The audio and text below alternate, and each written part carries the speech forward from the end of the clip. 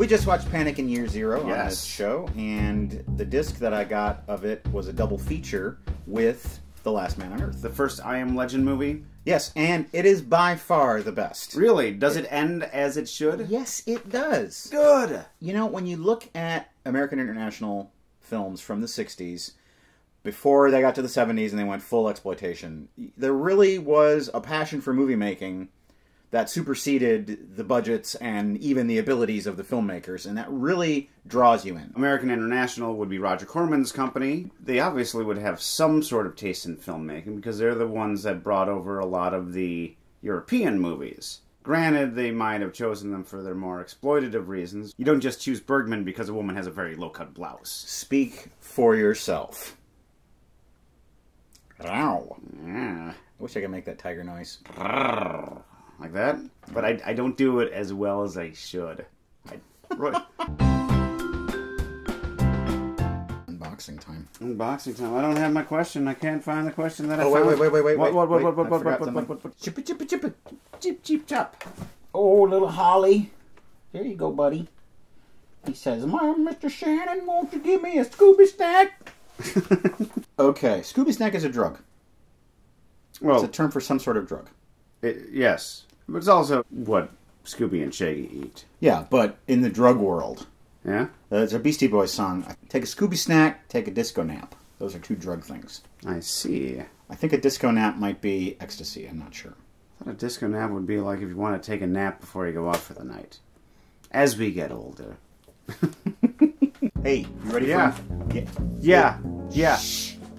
Hey, you ready for unboxing? Yeah.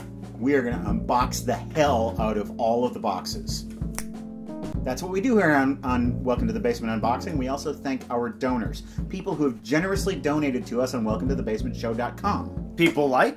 Bet, Michael, Ann, Maura, Brian, Eric, Alexander, Kelsey, Tristan, Jacqueline, Patrick, Aaron, Isabel, Cody, Lindsay, and Juno, who says, You're both very cute. Thank you, Juno. Maybe she's talking to the cats. That's not even all of our donors. We're going to announce the rest of them later in the show. You dropped a postcard. Shoot! Used to be so organized. We are going to open up our mailbag and start off with a handful of postcards. Nice. This one is from Steve Heron in New Jersey. Graham in Regina, Canada. I believe they say Regina, not Regina. It's Latin for queen.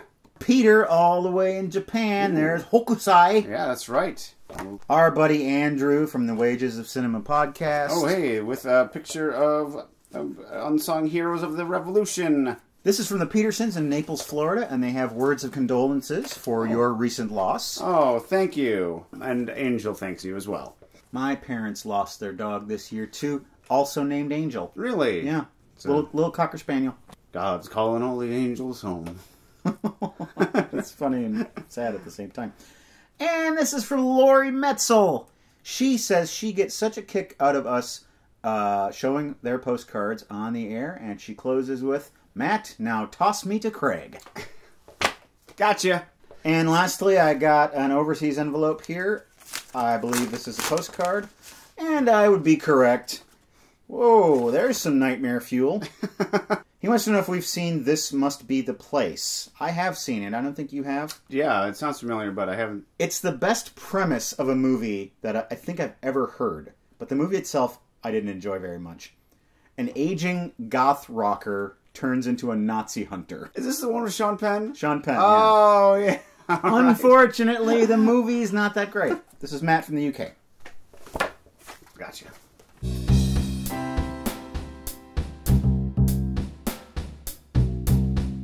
I want to go to Sanctuary.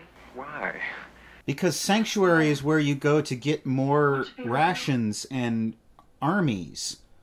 How else will you be able to defeat the Dark Tower? That's already been cut. Did you ever see Francis 8? No, but I've seen Frances Ha. Didn't seem like much when I was watching it, but in retrospect, it was quite emotionally moving. It's a giant Connect 4 board that got knocked over. It was a tense game. What's her name? Mary too. I call her Mary Mary. I constantly ask her why she's bugging. Logan decides that he needs to go and get a new face. You can do that here in the future. Unfortunately, they only have two selections Nicolas Cage or John Travolta. I have a famous poster that you might like looking at. Where'd they go? The Sandman and a Green. Didn't you see them? Damn you, Horshack, you're useless. My birds sing, and the deep grottos whisper my name. Oh, He's one of those computers that's been by itself for too long. It must be near now. We'll find it. Sanctuary is like one of those hipster bars that doesn't have a sign. you just need to know where it is. And now, viewer questions. The stupid freaking cow asks, that's their handle, not mine, is Matt wearing makeup? His lips are very red and his cheeks look so rosy. I am wearing makeup, yes, but that is not the reason why my lips are red and my cheeks are rosy. I have had stupid, blotchy skin my entire life. Used to be a lot worse when I was in my 20s. Uh, it's kind of evened out now, and it doesn't help when I drink wine, because that makes the blush come out on the rose, as it were.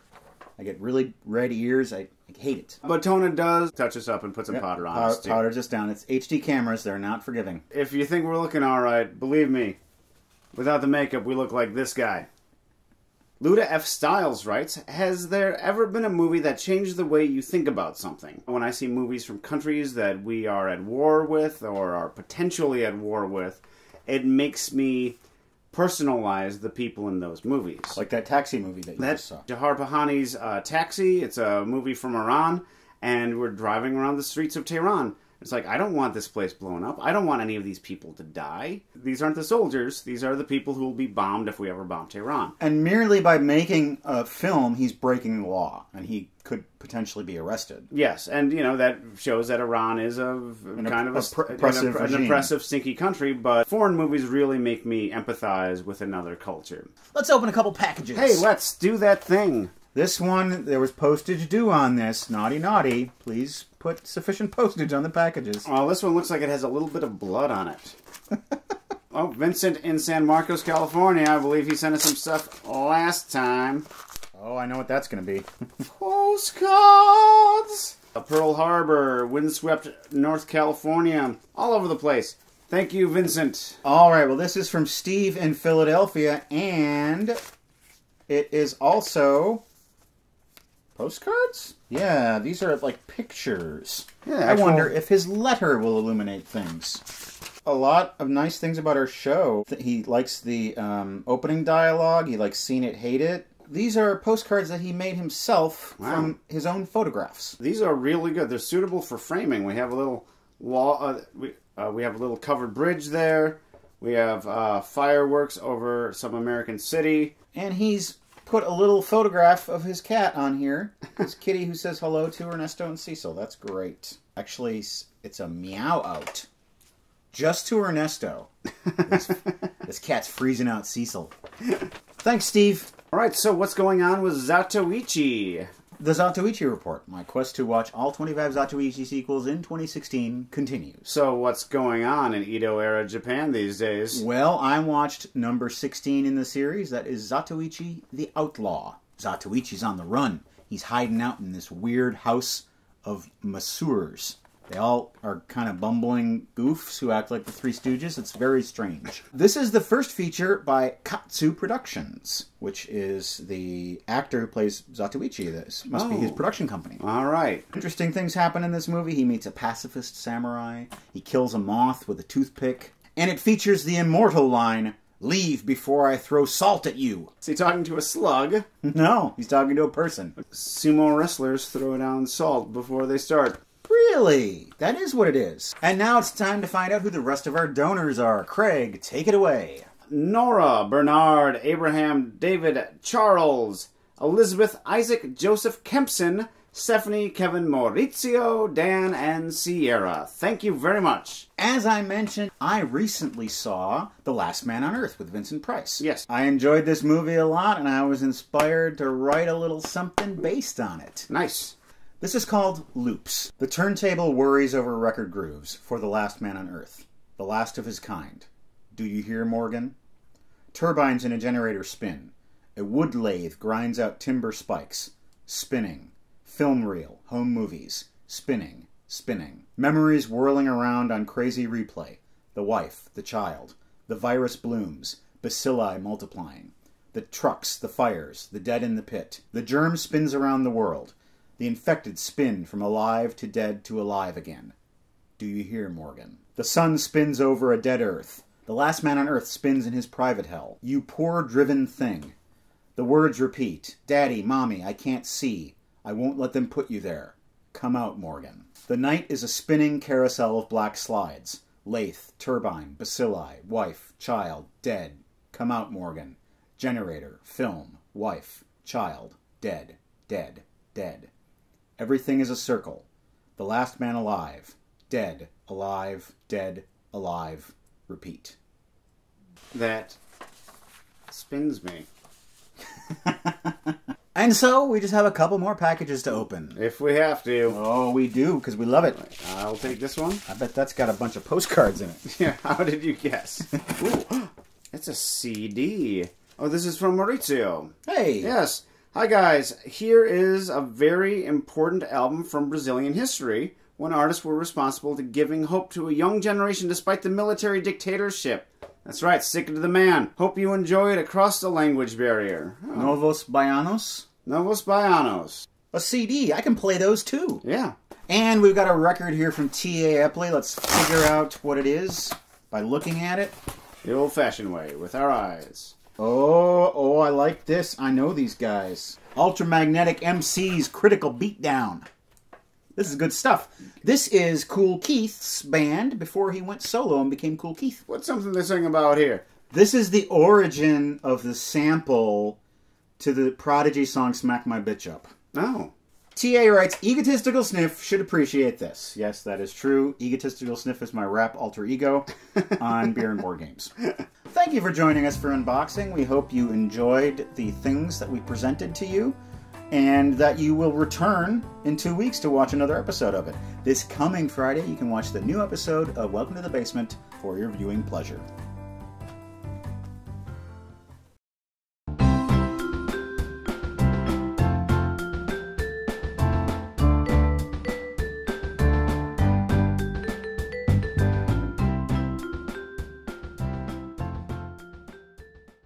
She just appears, and he's like, hey, let's get busy.